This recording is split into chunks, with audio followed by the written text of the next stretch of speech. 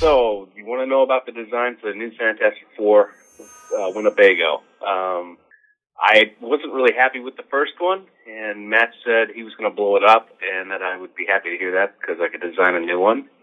And so he did, and I, I have. The way I went at designing it was I wanted something, well, for my sake, easy to draw and sleek looking, um, which sometimes goes hand in hand. The, the in different directions, the easier it is to draw and, and the sleeker it is.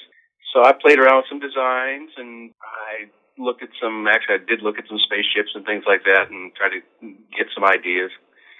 Um, it's funny when you don't design things like this all the time, and it's been a while since I designed a vehicle or something like it, it, it takes a while to get yourself back into it. It's like doing scientific machinery, you know, made up machinery. You're like, how did I used to draw that stuff? And what's an interesting way of doing that? Yeah, so I did finally settle on one and just kind of tweaked it out. And um, I like the, aerodynamics of it and the fact that it's sort of open in the center.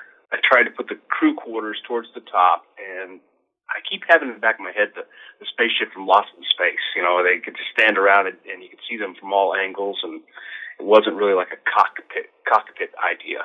I think I was pretty successful.